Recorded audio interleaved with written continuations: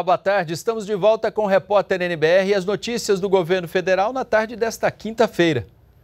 Unidades básicas de saúde de todo o país terão que adotar o prontuário eletrônico. O anúncio foi feito hoje pelo ministro Ricardo Barros.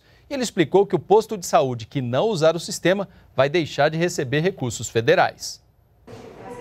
Reunir em um sistema online histórico médico, exames e receitas para serem consultados nos postos de saúde e hospitais.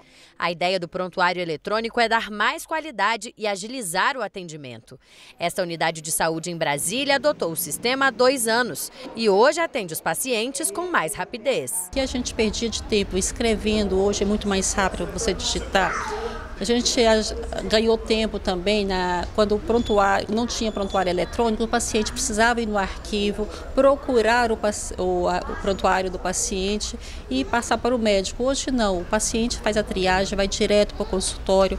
Hoje, 76% das unidades básicas de saúde do país ainda fazem o registro dos atendimentos em papel.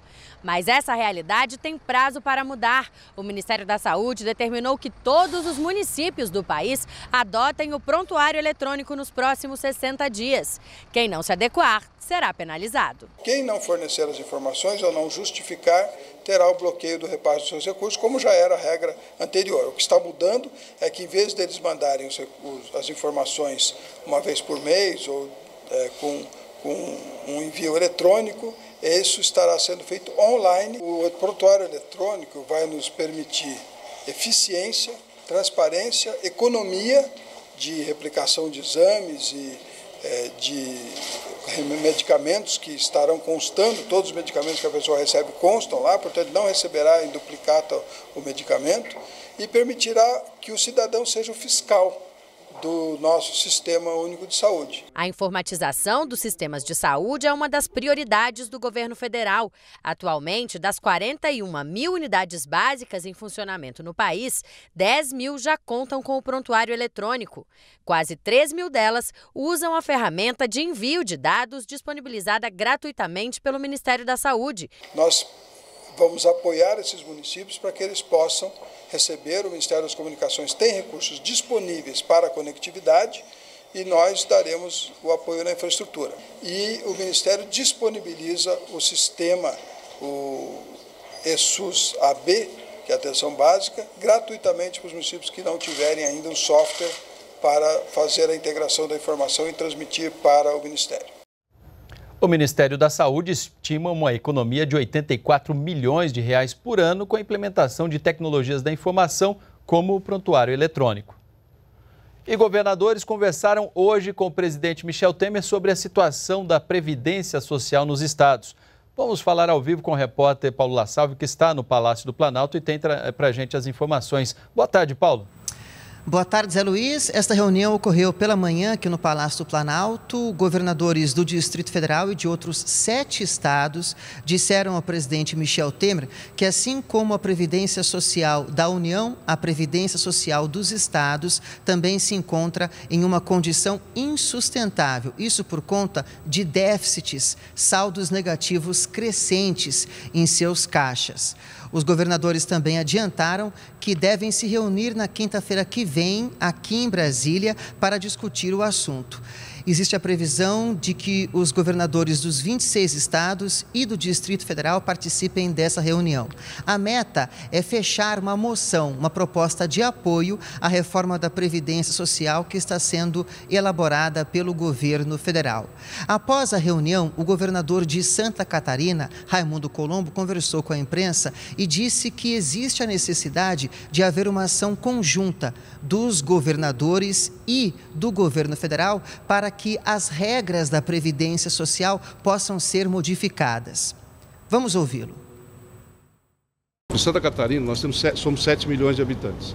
Nós temos 60 mil, 49 mil aposentados e 11 mil pensionistas. O déficit do ano passado foi 3,1 bilhões. Não tem como. Então vai faltar dinheiro para a saúde, para a educação. Você pode trocar o, o, gestor, pode trocar a ideologia do gestor, as contas não vão fechar. Nós vamos ter que fazer essas mudanças. É impostergável, tem que ser feito imediatamente.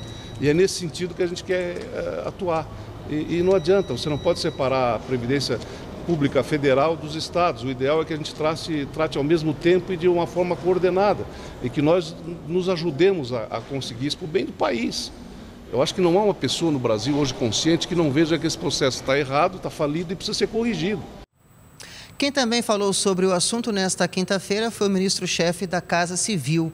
Eliseu Padilha disse que a reforma da Previdência não vai retirar direitos de ninguém, sim vai permitir que o sistema previdenciário se torne sustentável a longo prazo.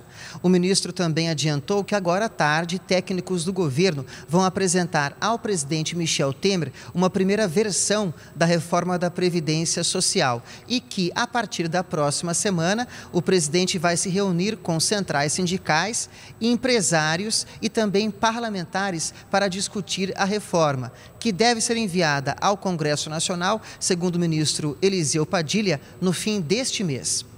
Eu volto com você no estúdio, Zé Luiz. Obrigado, Paulo La Sálvia, pelas informações. Bom trabalho para você.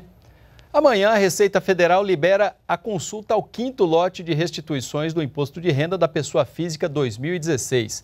São mais de 2 bilhões e meio de reais, valor que contempla mais de 2 milhões de contribuintes. O lote traz também restituições que caíram na malha fina entre 2008 e 2015. A consulta poderá ser feita a partir das 9 horas da manhã pelo site da Receita, receita.fazenda.gov.br ou pelo Receita Fone. O número é o 146. O Brasil deve colher entre 2010, entre 210 e quase 215 milhões de toneladas de grãos na safra 2016-2017, um aumento que pode chegar a 15,3% em relação à safra anterior. É o que mostra a estimativa divulgada hoje pela Companhia Nacional de Abastecimento. Segundo a Conab, o crescimento na produção deve ocorrer principalmente pelo aumento da produtividade nas lavouras, que se recuperam dos problemas causados pelo clima. Milho e soja permanecem como as principais culturas do país e a região centro-oeste é a maior produtora desses dois grãos. A previsão ainda de aumento na área plantada. E nós ficamos por aqui. Voltamos a qualquer momento com outras informações ou às quatro da tarde na próxima edição do Repórter NBR.